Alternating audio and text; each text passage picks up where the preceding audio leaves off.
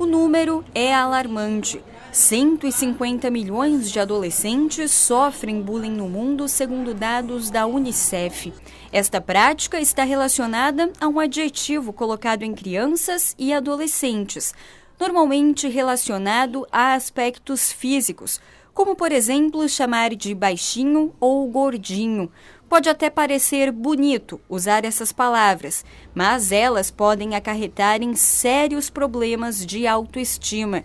Para evitar este tipo de prática, a Combento realiza nesta quinta-feira um workshop voltado para esta temática com o nome Diga Não ao Bullying. Eles reuniram profissionais da área da educação e palestrantes para abordar o tema junto com estudantes e educadores. Os adolescentes e os demais participantes da, da, da temática possam é, também discutir o assunto e trazer informações. E quem sabe a gente traz iniciativas que possam servir como sugestões e iniciativas públicas, de políticas públicas, para atender essa questão que é tão preocupante, né? E de sequelas extremamente drásticas em algumas situações para que a gente possa se policiar, identificar condutas que sejam ofensivas, né, castrantes, que a gente possa ter uma mudança aí de postura e atentar uma situação tão preocupante.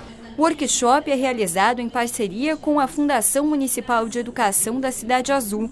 Hoje, dados apontam que parte da evasão escolar está relacionada ao bullying. Muitos alunos se evadem da escola por muitas causas, mas uma delas é justamente o preconceito é justamente o apelido, é justamente o bullying, é justamente a violência, ora em forma de ofensa e ora de forma física mesmo. Lá. E tudo começa pelo preconceito, que tem como objetivo depreciar a pessoa, que tem como objetivo excluir do grupo e que acaba, e que acaba gerando também autopreconceito. Então, esta é uma temática que é nossa também da educação regular.